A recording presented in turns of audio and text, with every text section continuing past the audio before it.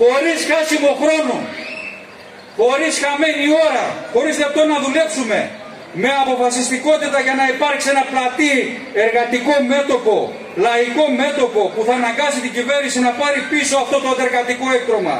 Και όχι μόνο να απαιτήσουμε να καταργηθούν εδώ και τώρα όλα, όλοι οι αντεργατικοί νόμοι που ψηφίστηκαν διαχρονικά σε βάρος μας, τσακίζοντας όλα αυτά τα χρόνια από όλες τις κυβερνήσεις τη ζωή και τα δικαιώματά μας. Να προετοιμαστούμε λοιπόν ξεκινώντας από σήμερα για αγώνα σκληρό, μαζικό, σε σύγκρουση με τα συμφέροντα του κεφαλαίου. Απέναντι σε αυτή την επίδεση που δεχόμαστε, προβάλλουμε το δικό μας σχέδιο.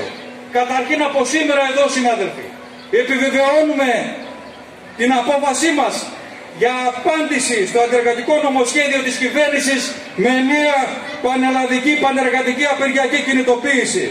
Και καλούμε λοιπόν όλους τους φορείς, τα συνδικάτα της πόλης και της περιοχής μας να πάρουν ανάλογες αποφάσεις και μέτρα για να προετοιμάσουν την επιτυχία της νέας απεργιακής μάχης.